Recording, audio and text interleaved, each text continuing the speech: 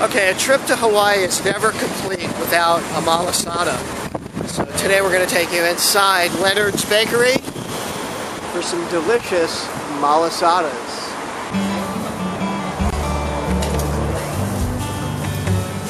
Okay, there's lots of different malasadas you can get here.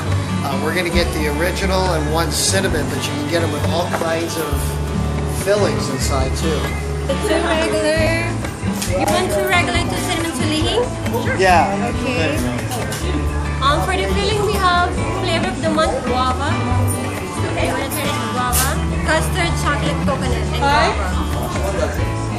Now these guys, you guys are going to get, what, a whole box of them? Yeah, that's because there's breakfast tomorrow and we have other people, so. Okay, all right, makes sense. They're going to get a whole box and bring it back to their hotel. Yes.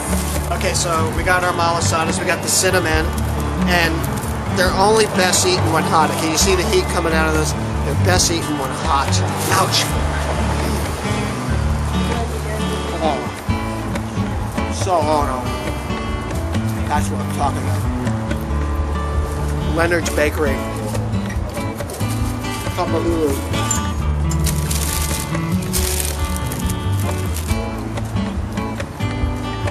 You gotta have it when you come to Hawaii. So cheating right now. It's just so bad. Turn that camera off. Get out of here. Aloha, my name is Bruce Fisher and I'm the owner of Hawaii Aloha Travel. We know that planning a Hawaii vacation can sometimes get complicated. That's why our Hawaii Aloha staff is available right here to help you every step of the way. I invite you to check out our website www.hawaii-aloha.com or give us a call at 1-800-843-8771.